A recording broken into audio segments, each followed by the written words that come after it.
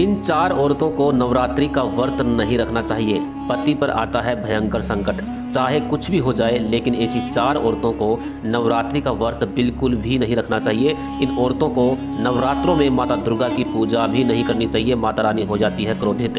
नमस्कार, स्वागत है आप सभी का एक बार फिर से। दोस्तों, माता रानी की कृपा प्राप्ति के लिए सच्ची श्रद्धा से कमेंट बॉक्स में जय माता दी अवश्य लिखें। दोस्तों, चाहे कुछ भी हो जाए, लेकिन ऐसी चार महिलाएँ नवरात्रों का व्रत भूल के बिना रखें, माता रानी ऐसी औरतों से कभी खुश नहीं रहती। अतः आप भी जान लीजिए, ऐसी महिलाएँ कहीं आपके आसपास तो नहीं है? अगर है तो उन्हें अवश्य ही बताइए। शारदीय नवरात्रि का प्रारंभ आश्विन माह के शुक्ल पक्ष की प्रतिपदा तिथि से होता है।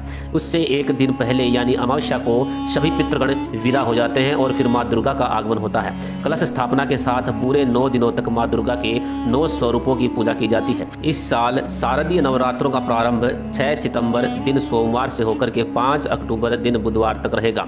इस साल माँ दुर्गा हाथी की सवारी पर पृथ्वी लोक पर पधारेंगी, जिस दिन नवरात्रि का प्रारंभ होता है। उस दिन के अनुसार माता अपने वाहन पर सवार होकर आती हैं, जो अपने भक्तों को एक विशेष संकेत भी देता है।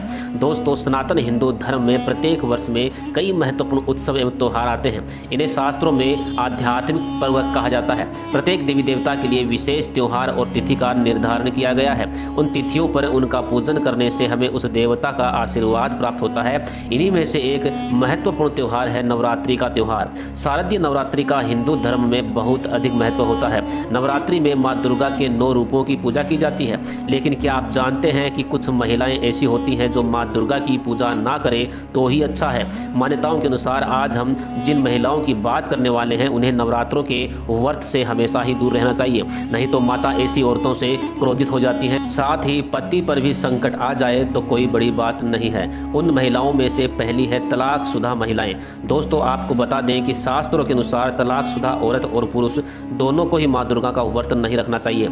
ऐसा करने से माँ दुर्गा कभी खुश नहीं होती। आपकी जानकारी के लिए बता दूँ कि शादी दो दिलों का, दो आत्माओं का बंधन है और इस बंधन में आजीवन यहाँ तक कि सात जन्मों तक के बंध के रहने का नियम बताया गया है। माता रानी टूटे हुए जोड़ों की पूजा स्वीकार नहीं करती। टूटे हुए जोड़े का व्रत रखना, पूजा पाठ करना शुभ नहीं माना जाता। जबकि माता रानी तब प्रसन्न होती हैं जब आप दोनों पवित्र वैवाहिक बंधन में बंधे हों। खास तौर पर पति और पत्नी दोनों एक साथ व्रत रखें साथ साथ पूजा करें तो माता रानी अत्यंत प्रसन्न होती हैं और वरदान देती हैं। अतः नवरात्रि में पति और पत्नी दोनों को एक साथ पूजा पाठ करनी चाहिए, ना कि अलग अलग नंबर दो पे है वेश्या। एक वेश्या को नवरात्रि का व्रत कभी नहीं रखना चाहिए। यहाँ तक कि माता दुर्गा की पूजा पाठ भी उसको नहीं करनी चाहिए, ना ही उसको करवा चौथ का व्रत रखना चाहिए। जब व्यक्ति की आत्मा और शरीर दोनों की पवित्रता खत्म हो जाती है तो वह पापी हो जाता है, पापी कहलाता है। ऐसे व्यक्ति का पूजा पाठ और व्रत कभी सफल नहीं हो सकता। ऐसी औरतों को नवरात्रि का व्रत कभी नहीं रखना चाहिए और ना ही घर के अंदर कलश की स्थापना करनी चाहिए। साथ ही महिलाओं को पीरियड्स के दौरान भी कोई व्रत, पूजा पाठ या धार्मिक कार्य नहीं करने चाहिए। यहाँ तक कि किसी मंदिर की सीढ़ियों पर भी नहीं चढ़ना चाहिए। तीसरा नंबर है दोस्तों, दिखावा। दोस्तों, अगर आप किसी व्रत या पूजा पाठ को दिखावे के तौर पर करते हैं तो यह शास्त्रोक्त घोर पाप माना गया है, घोर अपराध माना गया है। ऐसा करने से आप देवी देवताओं का मज़ाक ही नहीं उड़ाते, बल्कि आप उल्टे पाप के भागीदार भी बन जाते हैं और माँ दुर्गा भी ऐसे लोगों से प्रसन्न नहीं होती। देवी देवता तभी प्रसन्न होते हैं जब आप पूर्ण भक्ति और सच्चे मन से उनको पुकारते हैं और उनका पूजा पाठ एवं व्रत का सही तरीके से पालन करते हैं। नंबर चार पे है बीमार व्यक्ति।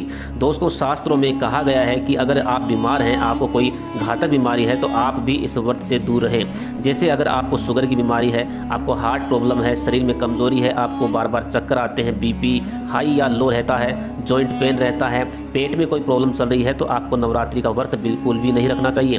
अगर आप व्रत रखते हैं तो माता रानी क्रोधित हो जाती हैं। अतः आप सावधान रहें। वैसे माता रानी कभी अपने भक्तों को कष्ट में देख नहीं सकती, वह नहीं चाहती कि उसकी संतान व्रत के कारण कष्ट में आए। अगर उसका स्वास्थ्य सही नहीं है तो उसको व्रत भी नहीं रखना चाहिए। ऐसे में अगर आप ज़बरदस्ती व्रत रखते हैं, तकलीफ़ सहते हैं तो आपसे माता रानी कभी भी प्रसन्न नहीं होंगी। नंबर पाँच पे है, अगर आपको बार बार गाली गलौज करने की आदत है तो जितना जल्दी हो सके आप इस आदत को छोड़ दीजिए। व्रत और पूजा पाठ करके माता रानी को प्रसन्न करना है तो मुख से मीठे बोल बोलिए। मुख से मीठे बोल ही निकलने चाहिए। अधिक कड़वे बोल माता सरस्वती का अपमान करते हैं। नंबर छः पे है, ऐसे विवाहित जोड़े जिनकी लव मैरिज हुई है या कोर्ट मैरिज हुई है, लेकिन अग्नि के साथ फेरे नहीं लिए, हिंदू रीति रिवाजों के अनुसार शादी नहीं हुई, वह लोग भी नवरात्रों की पूजा और व्रत नहीं कर सकते। साथ ही जो लोग सुबह सूर्योदय के बाद तक सोए रहते हैं, ऐसे लोगों को भी नवरात्रि के व्रत से दूर रहना चाहिए। तो दोस्तों, ऐसे लोगों को माता रानी की पूजा से, व्रत से हमेशा दूर ही रहना चाहिए। अगर आप इन नियमों का उल्लंघन करते हैं तो आपका वैवाहिक और आर्थिक जीवन संकट में पड़ जाता है। पति के जीवन में संकट आते हैं। तो दोस्तों, मैं आशा करता हूँ कि आज की ये जानकारी भी आपको पसंद आई होगी। अगर आई है तो वीडियो को लाइक करें, शेयर करें, साथ ही हमारे चैनल को सब्सक्राइब करके बेल के बटन को अवश्य दबाएँ और कॉमेंट बॉक्स में जय माता दी लिखना बिल्कुल ना भूलें। धन्यवाद